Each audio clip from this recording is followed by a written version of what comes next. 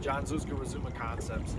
Hey, today I'm bringing you a racking system that I designed. You can actually pick this up on my website. If you visit that, you go to the link below in the description, you'll find a, way to get to my website for ordering details.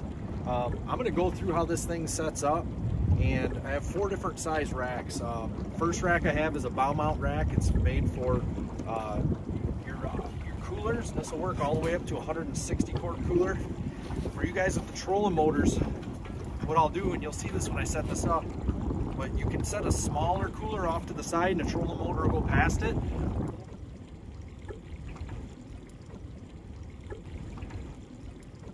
Or in between runs with your trolling motor, you can just pop it off and set it down in front of it.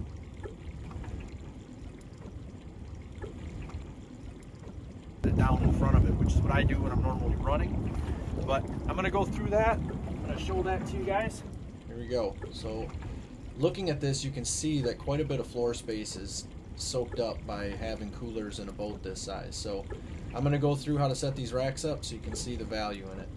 So these this system uses your standard track system. This is uh, the setup on a Lund, but anybody who has tracks set up on their boat or is bolted down the uh, six inch channel of tracks, you can use this.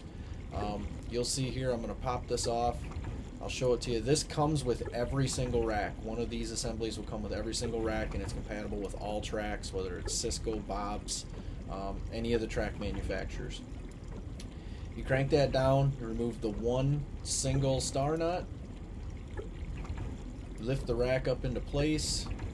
On the rack, you'll see there's these, there's several holes, and that's so you can pick a position that's best for you. Um, I caution you, don't cantilever it too far. It's not designed to cantilever weight on these rail mounts. It's a center of uh, placement, which is what helps you out when you're getting into those heavier weights. Crank that down tight and set your bait box in.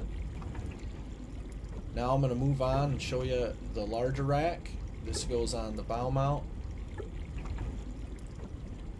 There's the mount that comes with every single rack. It's the same as the one I just showed you. All these parts are compatible and interchangeable. The racks all mount the same. As you can see here, I'm showing you the different settings. I like to run mine a little bit forward. You can run it back, but remember, uh, when you're doing this, it's not designed to hold a cantilevered weight. You need to make sure that those rubber bumpers on the outside rails are resting on the rail of a boat or a boat seat or something so that you have solid points of contact to support your load properly. Um, here I'm lifting up the 160 quart cooler. I normally run mine right there and then I'll put it up on the rack once we're fishing and it opens up all of this space. I'm going to go in close here for you to look. Wide open fishing space, all of your tackle, all of your coolers, all of your bait, everything is on board but not taking up any of your usable fishing space.